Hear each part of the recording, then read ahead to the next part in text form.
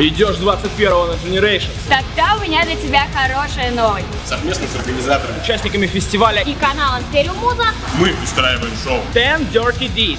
Шоу, где ты можешь выиграть не только мерч и крутые ништяки от музыкантов, Ну и билет на Generations Fest. Так что если ты умеешь делать крутые трюки на скейте или выпиваешь литр пива быстрее своих друзей, Если у тебя крутые татухи, накачанные руки и кубики пресса, или если ты просто хочешь круто потусить перед фестивалем, приходи и участвуй.